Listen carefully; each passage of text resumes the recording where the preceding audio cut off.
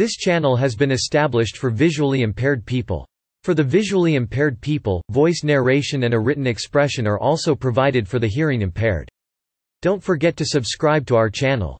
Robert Dale McHenry born April 30, 1945 is an American editor, encyclopedist, philanthropist and writer McHenry worked from 1967 for Encyclopaedia Britannica Inc. or associated companies, becoming editor-in-chief of the Encyclopaedia Britannica in 1992, a position he held until 1997 McHenry is also author of the book How to Know 2004, and a frequent contributor to journals Contents 1 Early Life and Education 2 Editorial Career 3 Life After Britannica Britannica 31 Criticism of Wikipedia 4 Sources 5 External links Early life and education McHenry was born in St. Louis, Missouri He attended Northwestern University in Evanston, Illinois, and received a Bachelor of Arts degree in 1966 He also received a master's degree from the University of Michigan in 1967 Later in life, McHenry undertook further study at Northwestern University, where he graduated from Northwestern's Kellogg School of Management with a Master of Business Administration in 1987.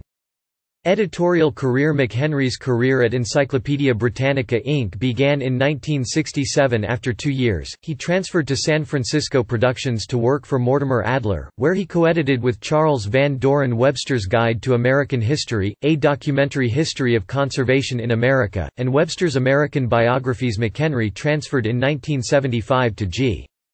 CD until 1994, one year after Microsoft launched their Encarta Encyclopedia McHenry believes these failures were due to a reluctance amongst senior management to fully embrace new technology, caused largely by the overriding influence of the sales staff and management. The sales personnel earned commissions from door-to-door -door selling of the print encyclopedias, which McHenry believes led to decisions about the distribution and pricing of the electronic products, being driven by the desires of the sales personnel, rather than market conditions and customer customer expectations aided by Britannica's failings. Microsoft took a dominant position in the market for CD-ROM encyclopedias in the 1990s. McHenry had little respect for their achievement, which he believed to be the result of, not only large resources and wide market reach, but a casual disregard for quality work.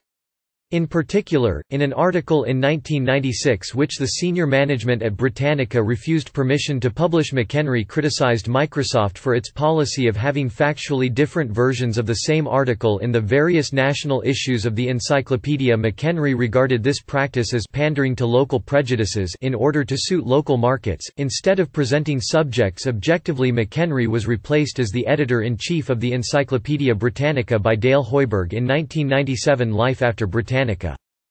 In 1998, McHenry wrote the book How to Know, in which he explored the questions of what we can know and how we know that we know it. Though written in 1998, the book was not published until 2004. During 2002 and 2003, McHenry worked part time in a used bookstore, and for a company producing Internet content filtering software during the same period. McHenry had several articles published in the The Chronicle of Higher Education and the Vocabula Review. The articles were mainly about low standards in writing and verbal communication one exception was a defense of Oprah's book club. Following hostile comments from some critics in 2004, McHenry began writing regularly for TCS Daily about a variety of issues. A favorite topic has been intelligent design ID, which he has criticized on several occasions. McHenry has argued that ID is not a theory in the scientific meaning of the word, because it is not based on evidence, it does not generate predictions, and thus cannot be tested. He has described ID as anti science, because it begins with a conclusion, that some unknown things are unknowable, which is then supported by selected evidence. McHenry has argued that science is the engine of society and the root of economic success. He believes that ID supporters want to stop the engine, not just for themselves, but for everyone else. He views the support of politicians for ID as particularly dangerous. McHenry has proposed two laws. McHenry's first law states that 88% of all human behavior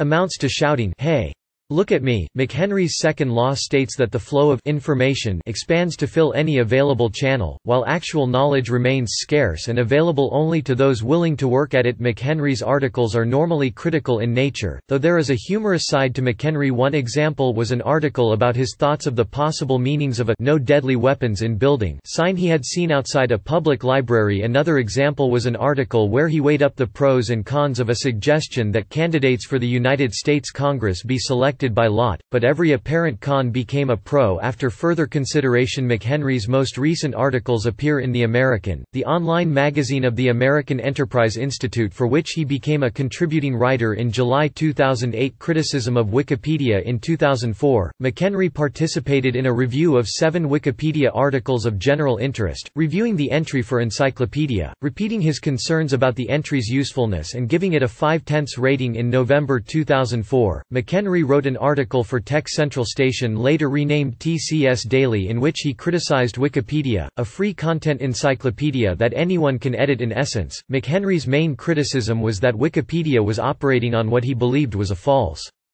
premise, that allowing anyone to edit articles, whether or not they were knowledgeable, would lead to evolution of article quality belief in the ability of Wikipedia to succeed, he argued, required a faith that some unspecified quasi-Darwinian process will assure that those writings and editings by contributors of greatest expertise will survive.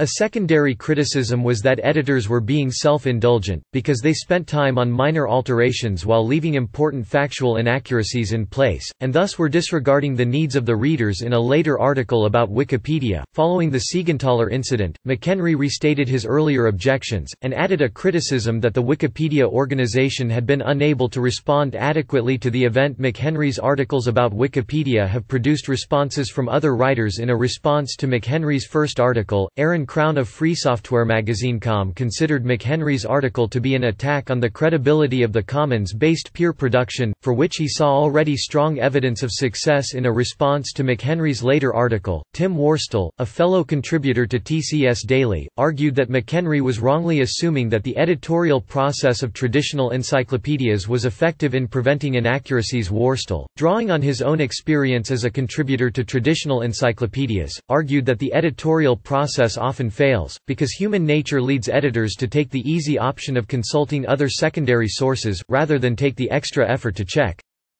Primary sources McHenry published responses to both of these articles sources Carrot ABCD Robert McHenry Encyclopaedia Britannica retrieved 3 January 2006. Archived September 30, 2007, at the Wayback Machine Carrot McHenry, Robert August 2002 Shoptalk. The Vocabula Review TCS Daily.